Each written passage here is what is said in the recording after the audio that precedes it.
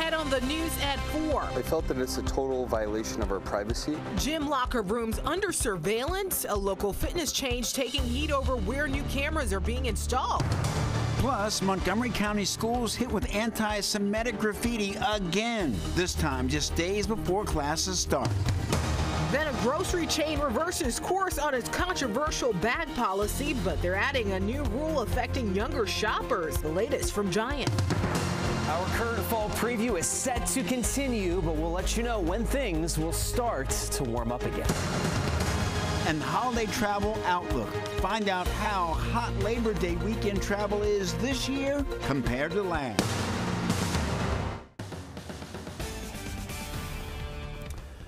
And thank you for joining us for DC News Now at 4. I'm Mark Hall. And I'm Annalisa Gale. We begin with some breaking news. A deadly shooting has been reported inside a gym in Fairfax County. DC News Now's Max Marcilla joins us live now with the latest. Max, you're at the Gold's Gym in Reston. What's the latest?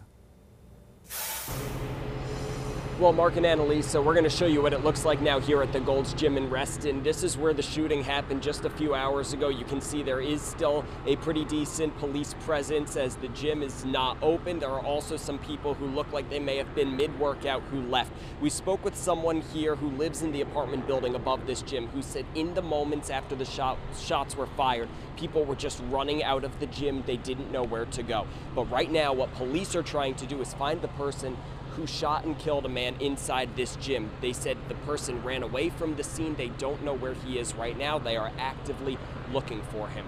We don't know what led up to this shooting. Police say it was two people who were working out perhaps in the same area of the gym, but they didn't know if there was any argument or anything that led up to the shooting. So right now what police are doing is trying to find the shooter in this case. But again, as you mentioned, Mark and Annalisa, one person has been killed here at this Gold's Gym. We'll continue following this story and bringing the latest updates live when we get them. Reporting live in Reston, Max Marcilla, DC News Now. All right, Max, thank you. Developing now, members at a DC gym chain, VIDA Fitness, are threatening to cancel the memberships after cameras were installed in the men's locker room. Yeah, those members at VIDA locations on U Street and Logan Circle say the cameras went up without much notice. DC News Now's Randy Bass is live outside of the U Street location this afternoon with more. Randy, members are concerned. Yeah, members we talked to here today were shocked to see those cameras go up, but Logan Circle members heard from VIDA this afternoon saying that they are pausing implementation of those cameras. It's not clear when or if those cameras will actually ever be turned on, but still, members we talked to are sharing concerns this afternoon. Photos taken inside today showing cameras throughout the locker rooms at VIDA Fitness near the showers and sinks. The member who snapped the photos on U Street today asking not to show his face on camera. I felt that it's a total violation of our privacy. Feeling frustrated after leaving the gym this morning. People walk around the locker room um, without clothing on all the time. Um, people are going to forget that those cameras are there. He says if the cameras stay up, he may be looking for a new gym. He also stopped by the Logan Circle location today too and saw cameras up in the men's locker room there. Members got a message about the men's locker room cameras. We got a message on the VIDA app saying that they're reinstalling it, so, but there's no explanation as to why. The message says the cameras are for increasing visibility for safety and security purposes, saying that monitoring will be, quote, discreet and only accessible by trained monitoring technicians. It's not clear if cameras will be added to the women's locker rooms too. Still, members are raising concerns. What is the, you know, what is the exact need to be filmed? And, and who is looking at this footage? And how is this footage being stored and maintained? Now, a manager at a different location here in DC on K Street, they told us over the phone today that they do not have any cameras installed in men's locker rooms or any locker rooms at that particular K Street location. We also reached out to VIDA Fitness for any comments on the situation. We have not heard back in an official statement at this point. We also reached out to DC's Office of the Attorney General, trying to look into the legality and the implications of having locker rooms, cameras in the locker rooms. Live on U Street, I'm Randy Bass, DC News Now. Randy, thank you. And taking a live look outside right now at Rosslyn. It was a bit chilly out there uh, for August uh, day, August 20th here, but hey, it's still a nice day out there. It was awesome for me, Annalisa. I went out this morning. I was like, let's, I'm ready to take on the world.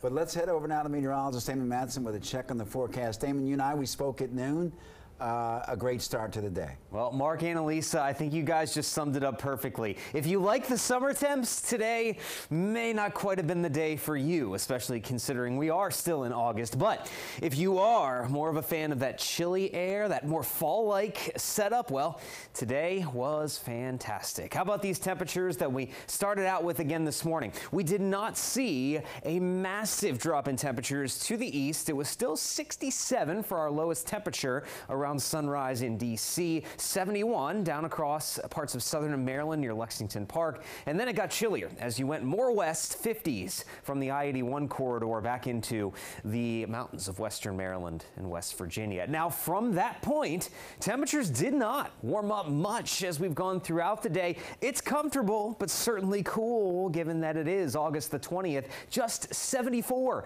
in D.C., still in the 60s in Hagerstown and And really, as we go now on toward the evening, these temperatures in the 70s will quickly give way to much cooler readings. Clouds, they will start to break up. They've been with us most of the day, and we will see more of a clear sky and calmer winds as we head into the overnight. Look at this 11 o'clock, we're down to 64. And then by the time we get to tomorrow morning, you might need a jacket to kick off your Wednesday. We'll talk about how long this cooler air, this more fall like setup sticks around, and a look at your full forecast coming up here in just a bit.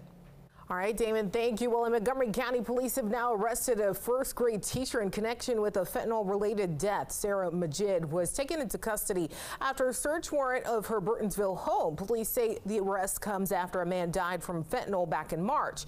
Majid is in jail awaiting a bond hearing now. We've reached out to MTCPS for a comment. In Prince George's, county traffic is moving again after a deadly crash on I-95 in Laurel involving a dump truck. It happened just after 9 this morning. State police say the truck driver died after crashing off the highway near the Sandy Spring Road. That what led up to the crash is still under investigation. And happening now, some people in Prince George's County are being asked to restrict their water usage. This after water pressures suddenly dropped Monday around Camp Springs. DC News Now's Dave LaValle joins us live with the latest. Well, hey there, Mark. What we can tell you, the good news is crews earlier today completed scheduled maintenance work on a water main along this stretch of Allentown Road. The, go- the focus now is refilling the Camp Springs water tank. The Washington Suburban Sanitary Commission supplies water to the area. It says pressure in the main suddenly dropped Monday while crews worked on it. That also led levels in the water tank to fall. The utility company has not issued a boil water advisory, but it says that could happen if water levels continue dropping. That's why customers are asked to voluntarily reduce the amount of water they use don't water the lawn if you don't have to. Maybe hold off a couple of days until we're uh, back to normal. Uh, don't wash your car, just things like that. Um, if you don't have to use water, don't, only for the essential services. Right now, the voluntary restriction impacts about close to 1,400 customers. There's no word on when the voluntary restriction will be lifted. We're live in Camp Springs, Maryland. Dave LaValle, DC News Now. All right, Dave, thank you. New at four. The union representing the majority of Metro workers have agreed on a new tentative contract. It's the latest in the series of steps by Local 689, which includes thousands of transit employees, including WMATA bus and rail workers. The contract will become official if the WMATA Board of Directors signs off. And happening now in Prince George's County, the search is on for three suspects connected to at least 10 armed robberies dating back to July.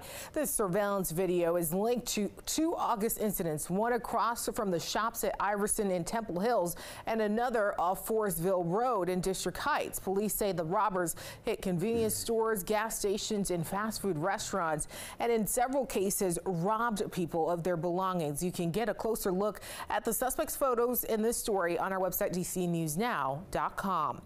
And developing now, bias related incidents are a growing problem in Montgomery County. At least four schools have are now involved in that in the latest attack Monday, just days before students are set to return to their classrooms. DC News Now's Kevon Dupree covers Montgomery County. He has the latest details here. County officials say four Montgomery County public schools were vandalized with bias-related graffiti on Monday. County leaders are now working with the police department and school district to put an end to this problem. Strathmore and Fallsmead Elementary Schools and Churchill and Wootton High Schools were the four schools vandalized with anti-Semitic and anti-LGBTQ graffiti. County Executive Marc Elrich says the language used is hateful and upsetting. It's not healthy for the community. So these acts are disturbing, and you know the goal is simply to divide our community. The Jewish Federation of Greater Washington CEO Gil Preuss says the recurring acts of vandalism at schools and places of worship are infuriating. People who decide to vandalize schools with hate-based graffiti know what they're doing. They want to make this as public of a statement as possible. The congregation Beth El Synagogue in Bethesda was vandalized twice in the past week. Preuss says they're looking for ways to enhance security at all Jewish places of worship in the county. We created a mechanism called J Shield, which is a community wide security apparatus that provides assessments and recommendations on how to improve security, including the use of cameras, including the use of guards, etc. Meanwhile, county leaders are working to find solutions. We're going to have to, I think, come up with some more um, aggressive surveillance techniques.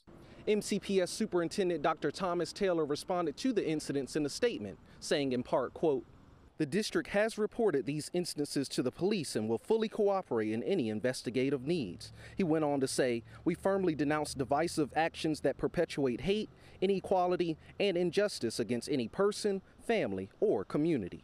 Reporting in Rockville, I'm Kevon Dupree, DC News Now.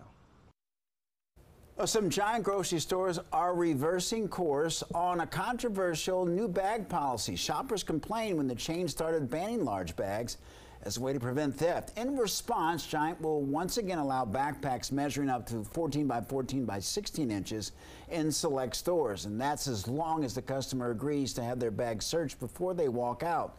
And starting on Thursday, some Giant stores will not allow shoppers under the age of 18 in without an adult after 6 p.m.